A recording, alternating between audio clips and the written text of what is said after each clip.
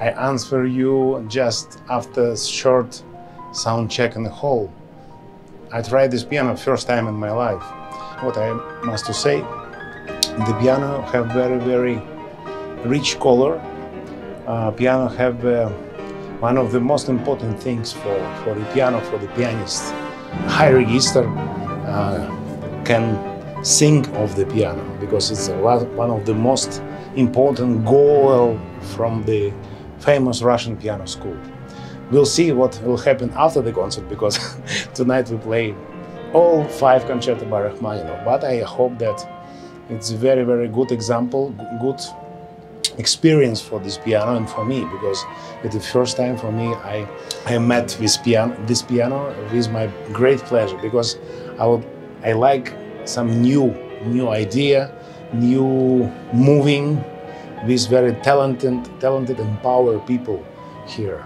Sometimes during the interview, journalists ask me, which your favorite composer, which your favorite concerto?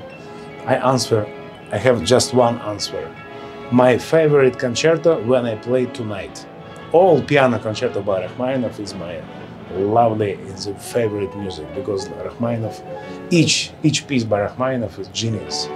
Each piece by Rachmaninoff is absolutely incredible, touching feeling, silent, and uh, this great, great power, sound, image, of course, Russian culture, Russian uh, nature, and many, many others. But I think that uh, talent or genius doesn't have a nationality because I'm in China, but in new, new generation in China is very, very gift. And congratulations all, all system, musical system, musical ed education system uh, in China because every year we discover incredible talent and we would like to uh, organize more and more, maybe something together, maybe here, maybe open air concert, maybe some new festival between Russia and China because I like this so much.